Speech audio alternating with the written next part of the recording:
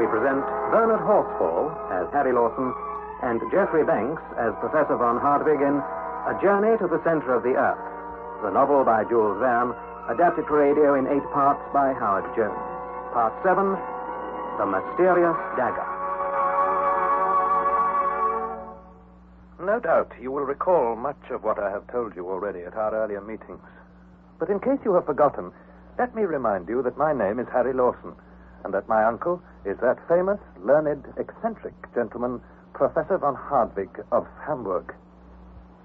It seems only yesterday that my uncle brought to his house in the Königstrasse a book in which I discovered an ancient parchment covered with runic characters. It had been written by a certain Arne Saknussemm, an Icelandic alchemist of the 16th century, who claimed to have made a journey to the center of the earth. My uncle insisted that we followed in the footsteps of this great man. So he and I and our faithful guide Hans Björke descended the crater of Snæfellsnes, an extinct volcano in Iceland, and found ourselves in a maze of subterranean passages and caverns. There we all but died of thirst, and there I was lost in impenetrable darkness and for a little while became demented. Later, we sailed on a raft over a mighty sea, the Central Sea, the professor named it. We witnessed a battle to the death between prehistoric monsters, and then were overwhelmed by a fearful hurricane. It was the ever faithful Hans who saved our lives when we were tossed up on some rocks. Where were we? That was the question we had to decide. My uncle consulted the compass.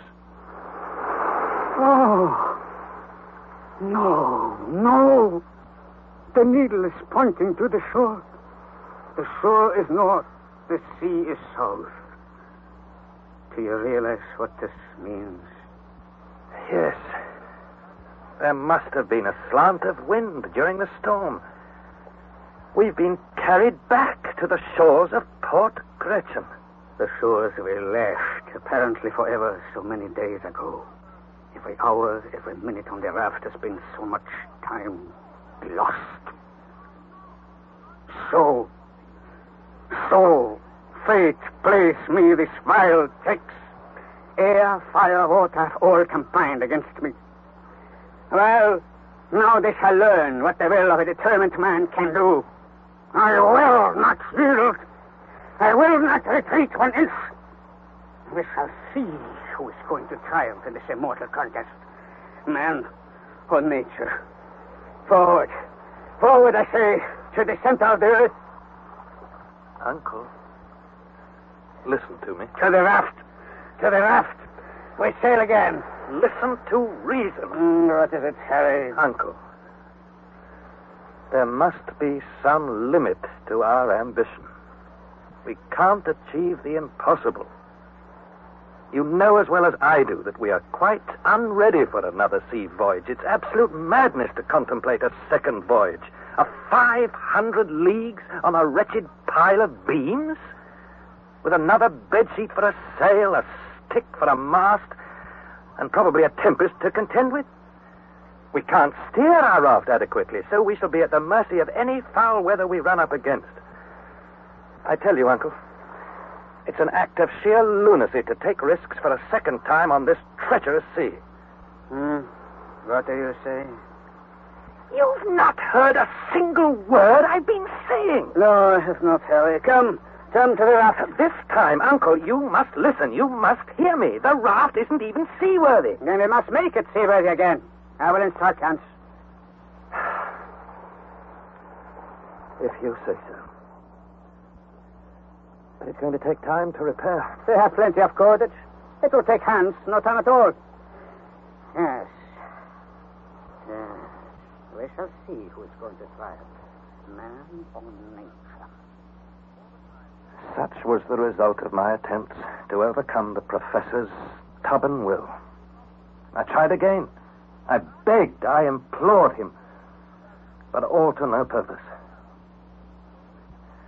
Meanwhile, Hans set about repairing the raft, and before long he had raised a new mast and a new sail which snapped merrily in the breeze. The professor spoke a few words to Hans, who nodded calmly and immediately began to stow our baggage on board and to prepare for our departure. In a mood of stolid and sullen resignation, I was ready to board the raft when my uncle put his hand on my shoulder. There's no hurry, my boy. We shall not embark until tomorrow. Now, since fate has cast us cruelly back on these shores, I think we should not leave them without making a thorough inspection of them. Very well, Uncle. Let us set out on another journey of discovery. That is the spirit. We can leave Hans here. He has quite enough to get on with. I imagine Port Gretchen to lie somewhere to the west of this place. These shores, in fact, are new to us. There should be a lot to interest us here. The distance between the high water mark on the foreshore and the foot of the rocks was considerable. As we trudged along, our feet crushed innumerable shells of every shape and size, shells that had been the homes of animals in the early period of creation. I particularly noticed some truly enormous shells, carapaces of turtles and tortoises, more than 15 feet in diameter. For a full mile, we followed the curvings of the Central Sea, advancing sometimes with great difficulty over broken masses of granite mixed with flint, quartz, and alluvial deposits. Suddenly, my uncle stopped. It is a cemetery. It is bones. Bones. All bones. On that spot, some three square miles in extent, was accumulated the whole history of animal life. When we moved, our feet crushed with a dry, cracking sound the remains of countless prehistoric fossils. I was quite bewildered. And my uncle, for his part, stood with his arms raised towards the granite vault which served us for a sky, his mouth wide open, his eyes gleaming behind his spectacles. For some minutes, he stood thus, literally agape at the magnitude of this discovery. And then suddenly he darted forward, caught up an object, and cried in excitement. Holly! You see what this is? A human skull! It was indeed a human skull. Perfectly recognizable. Had the peculiar nature of the soil preserved it through countless ages? I couldn't say. Nor, for that matter, could my uncle. But this head, with its tight, stretched, and parchment like skin, with the teeth whole, the hair abundant, was before our eyes, almost as if in life.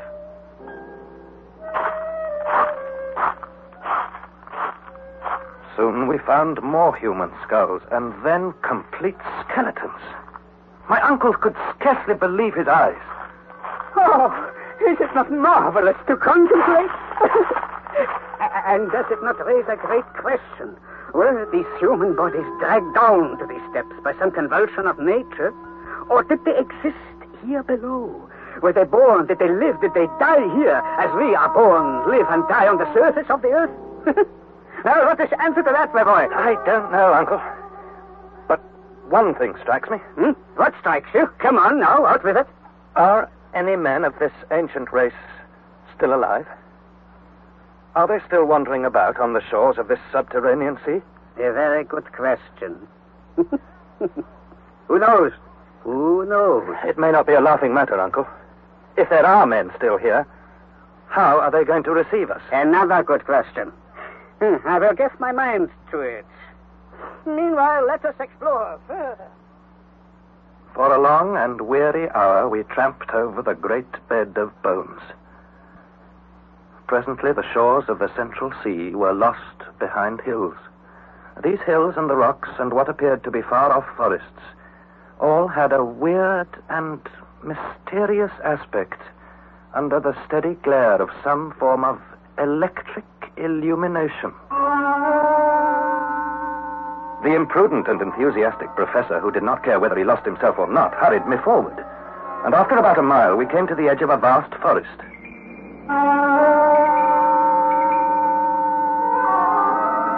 Here stood huge palms.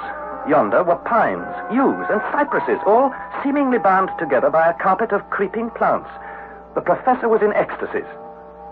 Do you observe? Do you recognize? Do you realize this is an immense forest of the tertiary period, growing as it grew in days of old? wonderful, wonderful. Look at those superb palmacites, a genus of fossil palms of the Carboniferous. Magnificent, truly magnificent.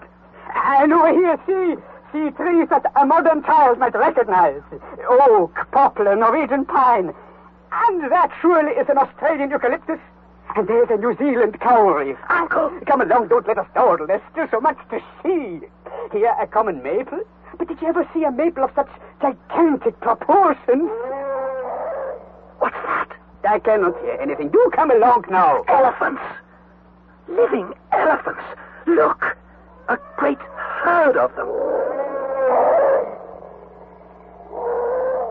No, not elephants. Not our modern elephants, dear boy. Mastodons, mammoths, alive and thriving, eating the foliage of this great forest. Marvelous. Come, we must take a closer look of them. Stop! If those beasts stampede, what chance shall we have? No human creature could possibly withstand. No human creature, did you say? You're mistaken, my dear boy. Look yonder. There is a human being, Harry. A man like ourselves. I looked. Not more than a quarter of a mile off, leaning against the trunk of an enormous tree, was a human being. A Proteus of the underworld, a new son of Neptune, tending this great herd of mastodons. His height I judged to be above 12 feet. His head, as big as that of a buffalo, was lost in a mane of matted hair, and in his hand he held the branch of a tree, serving him as a shepherd's crook.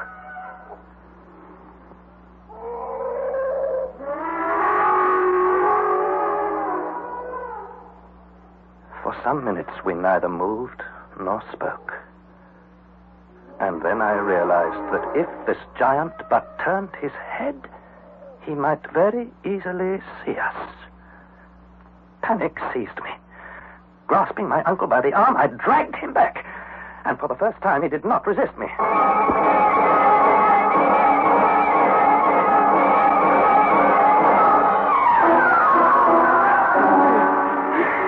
Stop. Stop it. I can run no further. Yes, I, I think we're safe here. Sit down. Get our breath back. Thank you. Thank you, my boy. Yes, it's better. I am reminded of a phrase in the Latin. Immanis pecoris custos, immanis ipse.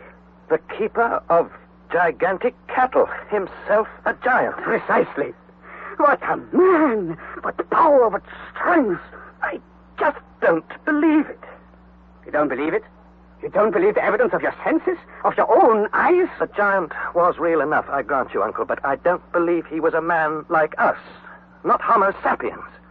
It stands to reason that no generation of men such as we are can inhabit this subterranean world. Why not? Why not, please? Because if they did, they would all know about us who live on the surface. They would have communicated with us. Possibly.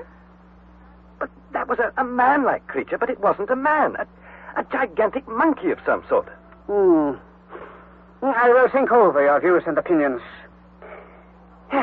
And now that I am quite recovered, my boy, let us continue with our explorations. We made our way towards the Central Sea. Though this was new territory to us, I noticed every now and then certain rocks which, in shape and formation, reminded me forcibly of the rocks at Port Gretchen. There were also streams and cascades tumbling from above the rocks, and this seemed to confirm the puzzling compass reading and our extraordinary and involuntary return to the north shore of the Central Sea. Then, as we pushed on, the unrecognized appearance of a stream or the profile of a rock threw me into doubt. I said, Have we ever come this way before, Uncle? I'm just wondering this myself. I wish I could be sure. Well, we were not cast ashore exactly at the spot we sailed from, that's quite certain.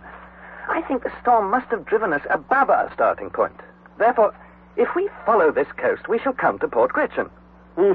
In that case, it is useless to continue our exploration. The best thing we can do is to return to Hans and the raft. Yeah. Are you quite sure of our bearings? Well, not quite sure, Uncle. These rocks are so much alike. All the same, I seem to recognize this cape as the place where Hans built our raft. I fancy we must be very close to Port Gretchen, even if we haven't reached it already. My dear Harry, if this were Port Gretchen, we should find traces of our footsteps, or at least some signs that we have been here. But there's nothing. Nothing. Just a moment. I can see something. Yes, I was right after all, Uncle. And what have you found? Oh, the rusty old dagger. Why did you bring that thing with you? That's no good, no good at all. I've never set eyes on it before. Isn't it yours? Mine? I don't recognize it at all. I'm sure it was never mine. That's very puzzling. Not in the least. Explanation is simple. Icelanders like these old Russian weapons. Obviously, this knife belongs to Hans. He must have dropped it without knowing. No, Uncle. This doesn't belong to Hans. I know him and his habits too well. Hmm? Could it could it be the weapon of some ancient warrior? Or of some living creature? Like that gigantic shepherd with his mastodons? And yet such a creature, if he carried a knife at all, would be armed with a stone knife. Flint, or just possibly bronze. But this knife is steel. Steel, I tell you. Steel, certainly. But uh, calm yourself, Harry. This weapon is a true dagger, such as was carried by gentlemen in their belts during the 16th century. Clearly, this one is of Spanish workmanship. It does not belong to you, or to me, or to our worthy Hans. Not to any living creature in the interior of the earth. Then Look closer, my boy. The blade was never blunted like this, with fair wear and tear. No. Observe now. It is thick with rust. And this rust is not merely a day old, not a year old, not even a century old. But, Uncle. Listen, listen, listen, I say. We are now on the verge of a great discovery. This dagger, a wonderful and fortunate find, my boy, has lain on the sands of this shore for more than a hundred years, more than two hundred, more than three hundred years. And it was used, or so I firmly believe, by someone endeavoring to carve an inscription on these rocks. Well, if your theory is right, someone brought the knife here. Someone used it here. In a word, somebody has been here before us. Yes, Harry, yes. Now you know the importance of your find. A man has been here before us. A man who has tried once more to indicate the right road to the center of the earth. Let us look around. Let us see what we can find. Forward! Forward! We walked along the wall of rock, looking into every tiny fissure which might widen out and prove to be the road to the center of the earth. Presently, we reached a spot where the beach narrowed and the sea almost lapped the base of the rocks, which here were very steep. At last, beneath a huge overhanging rock, we discovered the entrance of a dark and gloomy tunnel. And here, on a tablet of granite, which had been smoothed by rubbing it with another stone, we could see two mysterious and much worn letters, the initials of the bold and extraordinary traveler who had preceded us on our great adventure. A. S. I was right. I was right. Arne Saknussemm. Always the great Arne Saknussemm.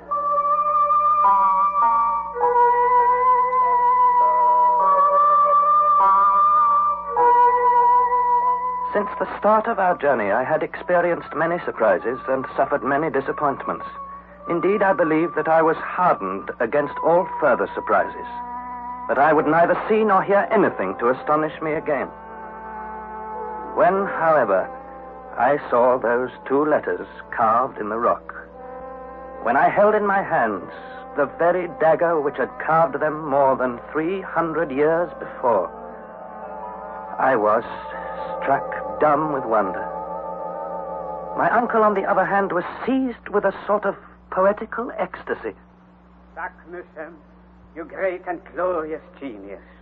You have left no stone unturned to show other men the road to the center of this mighty globe. Your fellow creatures can now follow the trail made by your illustrious footsteps 300 years ago. Your name, carved at every important stage of your journey, leads the hopeful traveler direct to the great discovery to which you devoted such energy and courage. And doubtless the audacious traveler who follows your footsteps to their destination will find the same initials carved at the very center of the earth. I will be that audacious traveler. I too will carve my name on the same spot. But in justice to your devotion, to your courage, and to your being the first man to indicate this road, let this cape, seen first by you on the shores of the sea discovered by you, let this cape be known for all time as Cape Saknussemm. I confess I was roused to a pitch of wild enthusiasm by my uncle's stirring words. What another man had done in ages past could, I felt, be done again, and I was determined to do it myself. Forward, forward, I cried, using the professor's watchword. And I started in the direction of the somber gallery, the road we had to take. Stop, boy, stop. Let us not lose our heads in this wonderful moment. Before anything else, we should return to our good friend Hans, and then we can bring the raft round to this point. Oh, very well, but don't let's waste time, Uncle. Come along. When you come to think of it, everything has worked out for the best, Uncle. Not quite so fast, please. All for the best, Harry. So, you begin to realize that now. Yes, Uncle.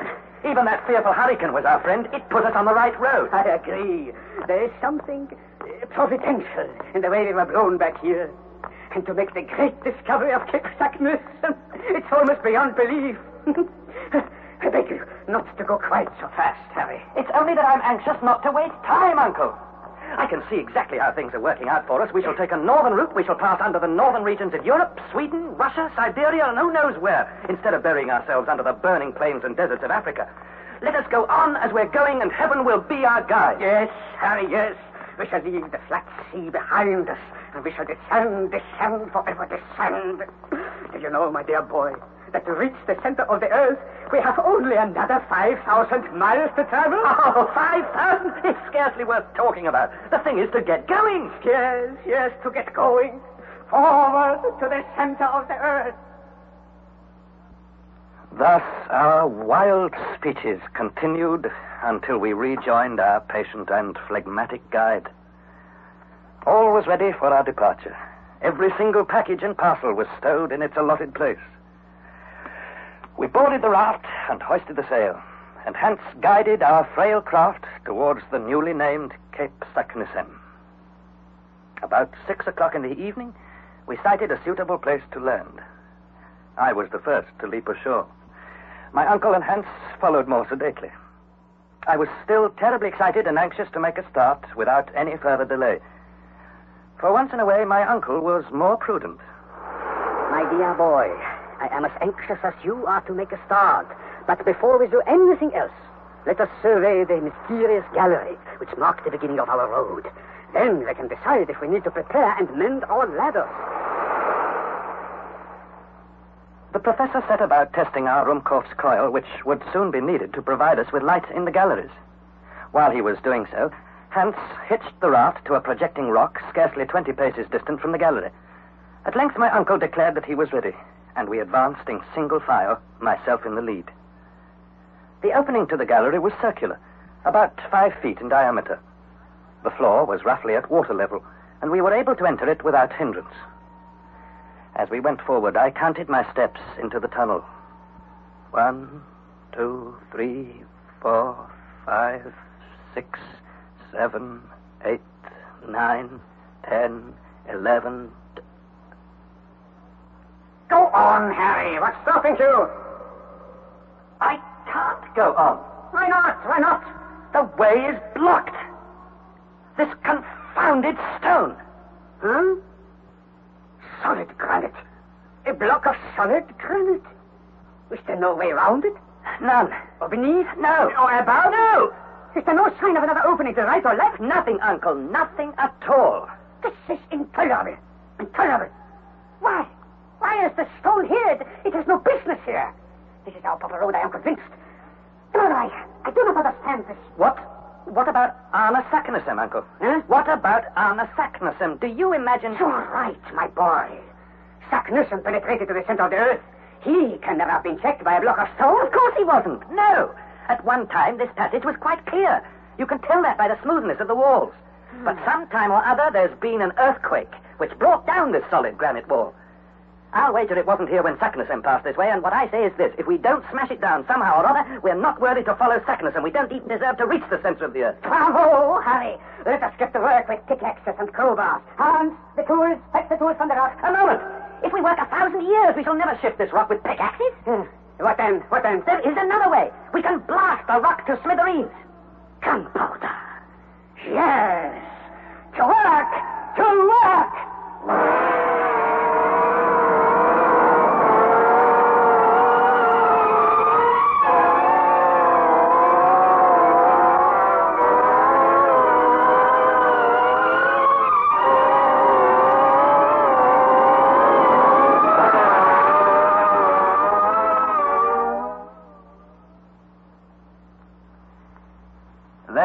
Seventh installment of A Journey to the Center of the Earth, adapted by Howard Jones from the novel by Jules Verne. The cast was as follows. Harry Lawson was played by Bernard Horsfall and Professor von Hardwig by Geoffrey Banks. And it was produced in the north of England by Trevor Hill. We invite you to listen to the eighth and the final installment of this serial next Thursday at 5.25 on this service, Radio 4.